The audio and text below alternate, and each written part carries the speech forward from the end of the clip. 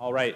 Uh, good morning, everyone. We're going to have an abbreviated catechism hour this morning because we've had uh, the joy of the baptism today and enjoyed fellowship and reception together.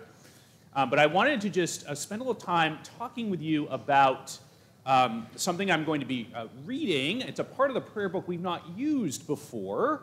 Um, at least in my knowledge, we've not used it before. It's a couple of the exhortations before Holy Communion. And so, one of the reasons why we're going to be having a morning prayer next week is to give us the time and the space uh, to be able to read these exhortations before Holy Communion. Um, these, uh, the first, uh, now, I'll say more about that in just a second. So, uh, before I say that, let's, uh, let's go ahead and open in prayer together. Let us pray. Heavenly Father, we thank you that by your grace, uh, you give us the things that we need.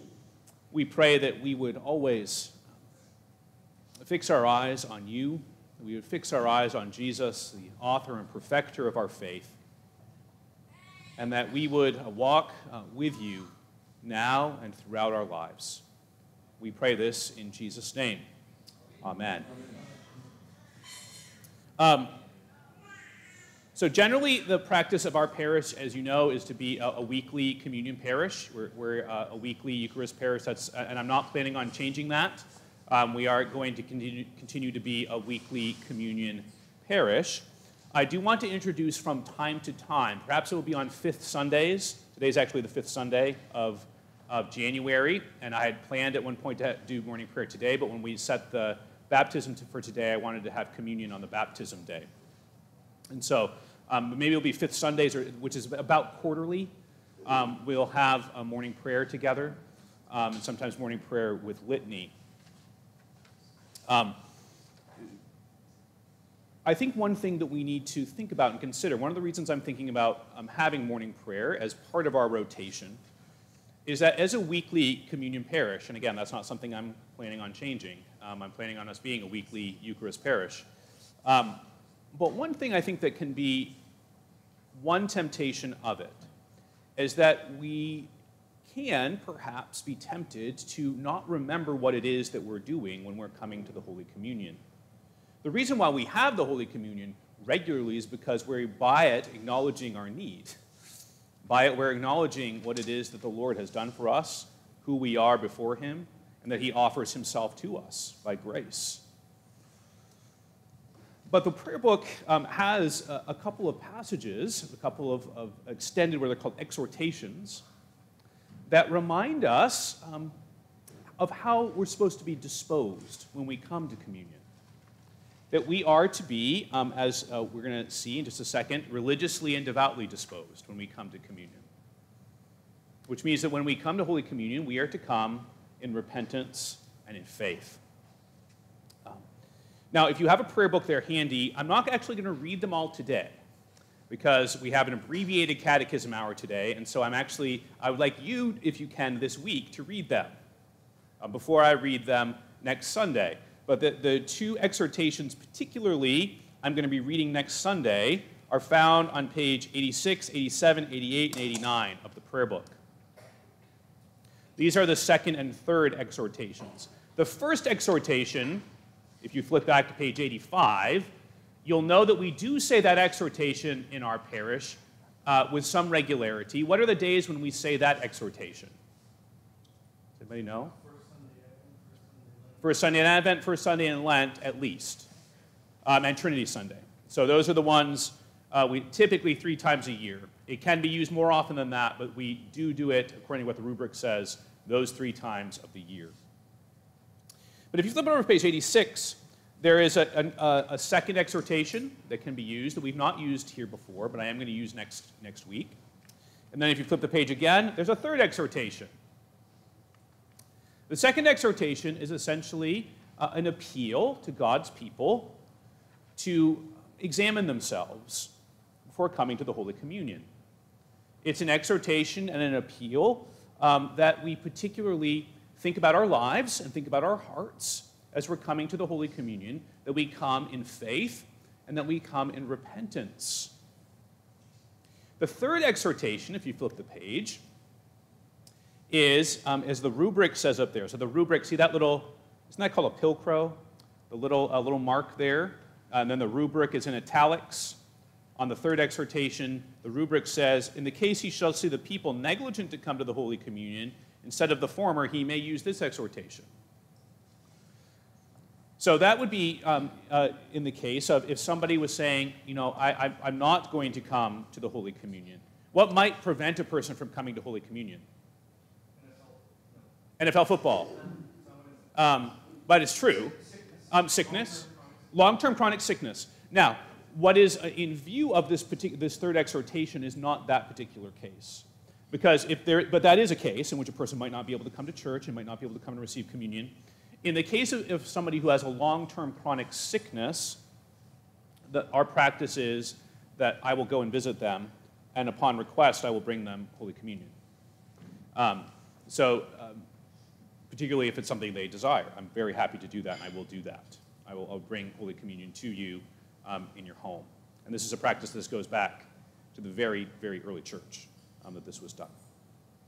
Um, but what's another reason why a person might not come to communion? Yeah, yes, that they actually, for, uh, they actually uh, have something between a fellow Christian. There's a, a disruption in fellowship with a fellow Christian. What's another reason a person might not come? Cheryl? Unconfessed sin. Yeah, unconfessed sin or guilt, uh, that a person is feeling guilty. And so, what these two exhortations deal with is essentially in the, in the I'm going to call it the second one, right? In the second one, what is dealt with is presumption. Right? The feeling of, of actually, I do presume to come to this, thy table, O merciful Lord. And I am trusting in my own righteousness. Right? The first one is dealing with that sort of presumption of coming to the table. Uh, my sins are, that's not a big deal. It's not bad. It's, it's fine. The second one is dealing with the other problem that's possible, uh, sorry, that's the third one. the third one is dealing with the other problem that's possible, and that's the problem of a person who is so self recriminatory. In other words, they, they look at their own sins and they say, ah, no, I can't come. And when you read it, you'll notice that the, the medicine that's given, the suggestion that's given between the second and the third are different things. In the second one, for the person who might be tempted to presume, the medicine that's given is ah, don't presume, examine. Examine yourself. Repent of your sins. Lay your sins before Jesus. And um, I, I, put down there the, so the three things that this exhortation tells us to do are first of all, it's telling us to search and examine ourselves not as dissemblers before God. What's a dissembler? What does it mean to dissemble? Lie. Yeah, to lie. We're encouraged to search and examine ourselves not as dissemblers before God. Why? What are we supposed to do? We're supposed to examine our life according to the standard of God's law. We're supposed to confess to God where we've fallen short. And if our sins involve other people, we're to seek to be reconciled to them and also to make restitution for what we've done. And that's along the lines of um, remember the story of Zacchaeus? Right? Zacchaeus is up in the sycamore tree. Jesus calls him down. Um, Zacchaeus comes to follow Jesus. And then at the dinner that night, what does Zacchaeus stand up and say? For those who wronged, I'm giving it back. In other words, part of his repentance is he, to, to make restitution for what he's done. He gives back that's what he's stolen. That's what he's taken unjustly. Okay? Natalie.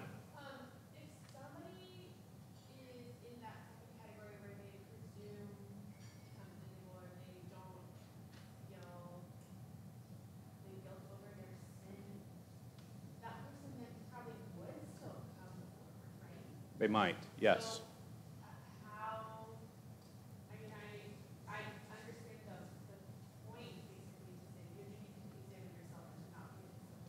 Yeah. also somebody that, that doesn't have the conviction of their sin, how would they then know to pray, Yeah. to do that? Yeah, it's a great question. How would, how would a person know who's in that state? How would they know if uh, if they're in this state where they need to repent of their sin. And essentially, what I, I think I would say is the prayer would be that the Holy Spirit of God would bring conviction in their life, and that He would do that perhaps even by using an exhortation like this one. That, that He would use the, the speaking of the teaching of God's Word in the heart of this person that they might repent and turn away from the sins. Uh, but I think it's a great question. Um, essentially, what the exhortation is asking us to do is as much as it's possible for us as human beings, don't deceive yourself. Don't be self deceived. Um, see yourself for who you are. But then it doesn't just stop there. It doesn't say just see yourself for who you are. It says see yourself for who you are and do something with those sins. What do you do with them? You lay them before God. You confess them before God. And why confess them before God? We do that because God delights to forgive us. God doesn't take our sin and, and just, and when we confess our sins to Him, God's not like, ha, ha, I knew it. I knew it all along. When we confess our sins before God, because of the blood of Jesus Christ shed the declaration is, You are forgiven of your sins. Yes, Kent. I was one time told that the word confess in its Latin roots is to say with. Yeah. And so, in effect, when you confess your sins, you're saying with God the truth. Yeah. You're agreeing with God. This is what I I. think that's a good way to think of it. Yeah, we're, we're agreeing with God uh, of the sins that we have. Yes, I think that's a good way to say it. Now, one of the things I want to point out to you is to come worthily to the Holy Communion does not mean you come sinlessly. Because then nobody would come. Right? When you come to the Holy, to come worthily and reverently to the Holy Communion doesn't mean, well, I didn't sin this week. Yes, great. Now I can come to Holy Communion because I didn't sin this week. Uh, no, that's, that's not what it means. To come worthily means to come humbly and repentantly. That we come with hearts before God of, of humility. Um, now, the, uh, this exhortation goes on to say, well, what happens though if a person does this? They examine themselves, they confess their sins to God, they make restitution, but they're still unsettled about it. They still feel stirred up. They, they still don't feel settled, in their, they don't feel quiet in their conscience before God. What then? And the recommendation that's given um, in this exhortation is that then you seek out a minister of the gospel and open your grief and receive comfort and counsel. And I just want you to know that I'm willing to do that. If you want to come meet with me sometime, if you want to set up a time or an appointment, um, if you even want to do it on the phone, um, I'm willing to do that. Um, and notice the reason why it's done. It's done not to say, well, you know, it doesn't, it doesn't take if you confess your sins to God. That's not what, that's not what the, it says. It says, if you confess your sins to God and you still feel upset about it, what might cause you, if you confess your sins, but you still feel stirred up about it, you still, you still feel, you feel like you're not forgiven, what might cause that? Cheryl? I would say Satan, because Yeah, sometimes. One, therefore there is no condemnation for those who are in Christ Jesus. Yeah. And then his promise in Psalm one oh one that as far as east is from the west, so far does he, transgressions are away. Yeah. So that the Holy Spirit convicts, that Satan likes to condemn. Yeah. Yes, sometimes it is a lie from Satan um, that, uh, that no, you're not forgiven. God doesn't forgive you. Jesus doesn't forgive you. Jesus won't forgive you. Mary? I think sometimes too it can be from the Holy Spirit. I mean, how is your how is your priest, your pastor going to know what's going on with you if you're never stirred so much that you might tell them? I mean, Right. how can you shepherd Yeah. It would be right for, some- I've been struggling with this thing, I, I need to tell my priest about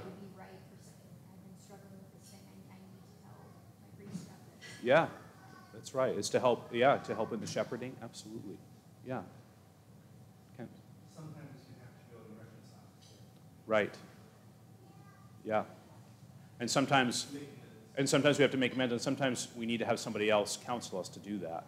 Sometimes we need someone else to say to us, you know, the thing to do here is, is this.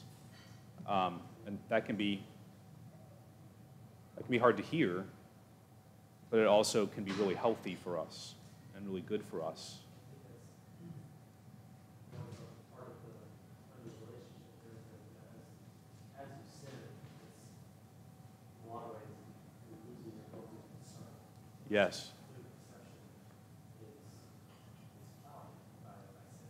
Yeah. And so if you are, you know, if you're confessing, not being able to go and be reconciled with some kind of recompense, right?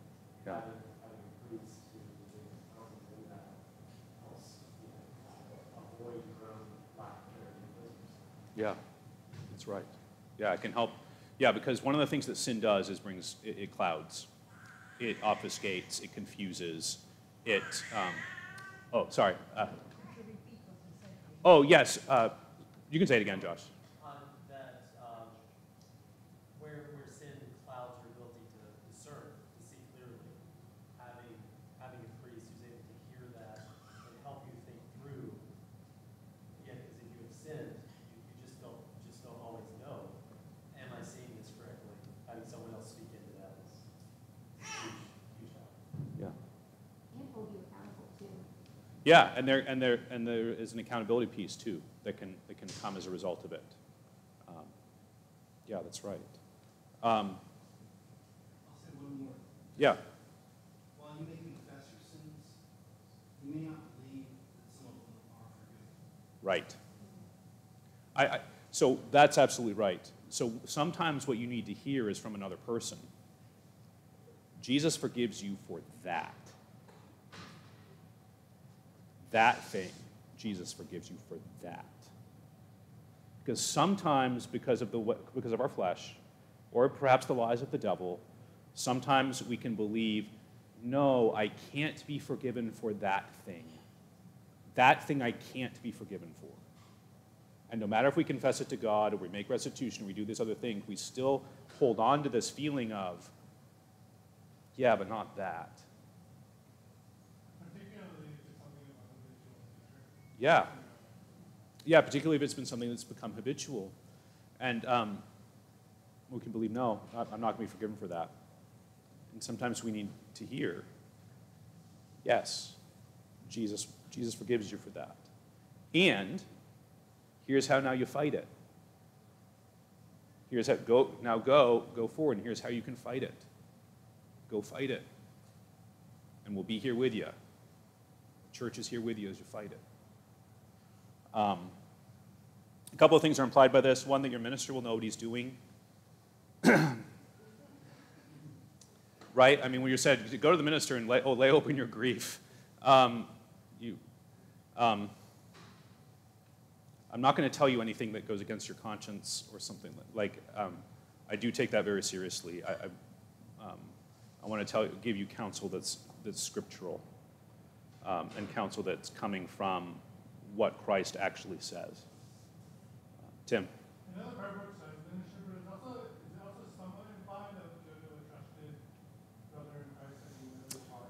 Certainly, it can be, yes, and it can be that at times you can go. Um, the, the, what the thing is, what the, the exhortation is encouraging is don't just turn inward about it, right? But go outward with it. Take the sin and go outward with it. And hear that it can be forgiven. And hear some counsel for how to fight it.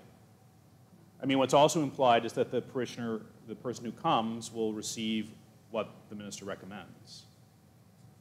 Um, the hope for result, the result is said at the end, and again, you can read this uh, later today or before next week, is the quieting of your conscience. Your conscience is quieted, and the removing of scruple or doubtfulness. So, in other words, the, the, the idea is okay, uh, remove the sort of the doubtfulness of, uh, did, did Jesus actually forgive my sins or not? You know he does. He does. Then the third one, um, this exhortation is about the invitation to the wedding banquet. Remember that, that uh, it's in Matthew, is it Matthew 22? Yeah, so we do read it during the cycle of the church year. It's one of these parables Jesus tells about the, the banquet set out and the invitation goes out and people won't come. Like, no, I, no, I gotta, I have, I can't come. They have all these different excuses they give. And the, this exhortation says, no, go, come. And it says, if you have something stopping you from coming, if there's a sin that's stopping you from coming, or something else is stopping you coming, repent, confess it, lay it down, lay down your burdens, and come. And come and receive from Jesus what he offers to you. Um, receive the Lord's hospitality. Jesus invites you. Jesus says to you, Come to me, all you who are weary and heavy laden, and I will refresh you. Jesus calls you. He says, Come. So come. Okay, there's way, lots more that can be said, but I already went over the short amount of time I allotted for myself, um, and um, I'm happy to talk more with you about these things if you'd like. Um, I'll stay after, but, uh, but let's, let's close in prayer together. Heavenly Father, we pray that you would give to us um, hearts of love for you and for one another. Please, we pray, forgive us all of our sins and negligences and ignorances.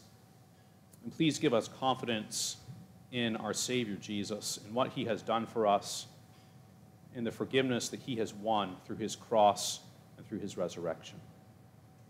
Please bless us through this day and through this week, that in all that we think and say and do, we might bring glory to you. We pray this in Jesus' name. Amen.